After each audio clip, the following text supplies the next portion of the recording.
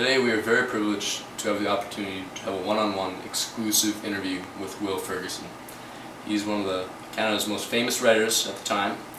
He's extremely funny and we are just uh, ecstatic to have him here with us today. Now he, uh, he should be here at any moment. He should be pulling up. Oh, here he is now.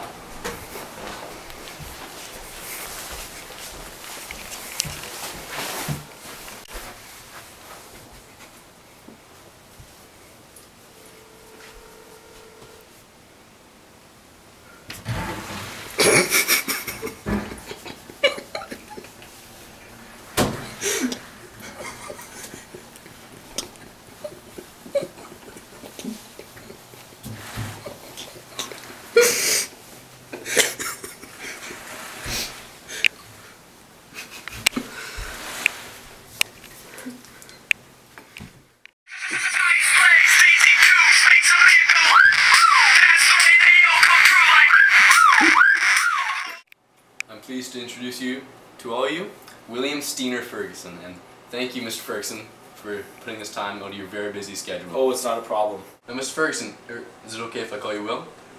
Will, William, Bill, Billy, Big Willie, you know? I have lo- tons of people call me different things. That's fine. Absolutely. All right, Will, tell us a little bit about yourself. Alright, well, my name's Will, of course. Uh, I love writing books. I'm very passionate about what I do. Doing it for a long time now. I'm about five foot ten, you know, sandy blonde hair. Just got back from the Cotton Corral, of course. Just had my hair highlighted a bit. I enjoy taking a stroll down the pier and smelling the daisies after a fresh rainfall. I live in Calgary, Alberta with my wife, Terumi, and sons Genki and Yuki. Uh, I absolutely love to travel, and I lived in uh, Japan for five years. Oh, really? Mm-hmm. Tell us a little bit more about that. I graduated from uh, York University in the film program in about um, 1990, and you know I wanted to take a break from film and you know move to Japan and try to clear up all my debt. I was only planning on staying there for about a year, but everything was just going so smoothly. You know, I, I stayed for five. It was a great time. So what has inspired you to become an author? Well, Eric, I could say um, probably my whole career as an author started when those five years when I was in Japan. I was uh, I was doing some backpacking in Japan, so you know I actually spent a lot of my time doing backpacking. And when I was doing that, I, I wrote a guidebook. It's called the uh, Hitchhiker's Guide to Japan. And uh, you know when uh, my wife Terumi and I moved back to Canada, I got a job in a newspaper column uh, writing about Japanese culture. And you could say I encountered a, you know, cultural shock when I when I moved back. So, uh, you know, this really inspired me to write my first book, um, Why I Hate Canadians. As you can see there, it's a it's an RCMP officer on his little raft, with a little with a little foreign girl and a, and a nice little husky there, looking you know, standing broad and brisk on that boat. So, you know, this is, uh, I think it's one of my better writings, and um, I'm, I'm happy with the work here. What would you consider your breakthrough was in order to become a well-known author across North America? Well, like, uh, I'd probably have to say it was when um, my brother Ian and I, back in 2001, we um, wrote a book together, just called How to Be a Canadian. And, you know, uh, the purpose of this was to make a guidebook, you know, for people who lacked uh, knowledge about, you know, general Canadian facts and history. Uh, and for your information, we sold over 200,000 copies of this book. And I have uh, one of those 200,000 right here. As you can see, Will Ferguson and Ian Ferguson, it was, a, it was a, it was a team, it was really, you know, team effort here. I'd be Canadian. And, you know, I'd, I'd like to say that's the reason why I'm so rich. It's not a big deal. When you're not working on writing books, uh, what, what type of things do you like to do in your free time? Well, to start off, I'm uh, pursuing a career in songwriting. Count me in. I've been awake for a while now. You've got me feeling like a child now. Cause every time I see your bubbly face, I get the tingles in the silly place the sounds of my toes, and the of my nose. Wherever it goes, I always know smile. Please stay for a while now. Just take your time, wherever you go. On Saturday mornings, I hit the streets and shoot some hoops.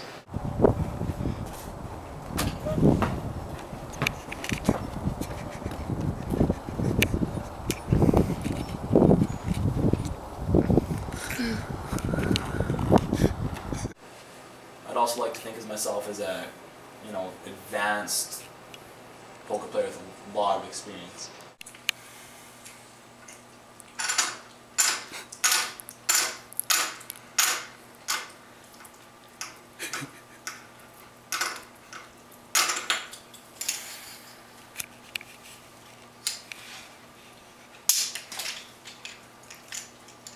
I'll push you all in.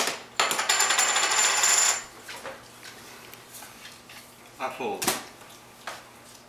Yes! Yes! Yes! On uh, you know, on weekends I've I like to sit back and relax and when I moved back from Japan to Canada I, I really started to enjoy watching this, this show. It's called So You Think You Can Dance. And you know, just watching those kids, you know, frolic and gallop on stage, you know, I just, I, you know, I really want to, you know, they really inspired me to, you know, to start dancing. And uh, you know, I've, I've, you know, I'm, I'm just a beginner, but I, I think I'm really coming along and really starting to become, you know, a good interpretive dancer.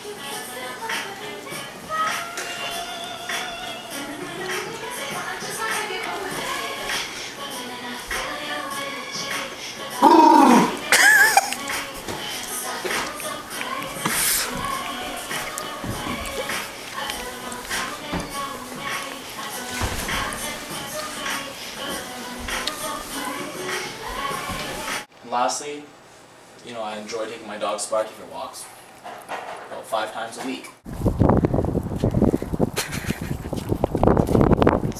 easy, Tom. Easy. Easy, easy there, Bubba. Easy, easy now.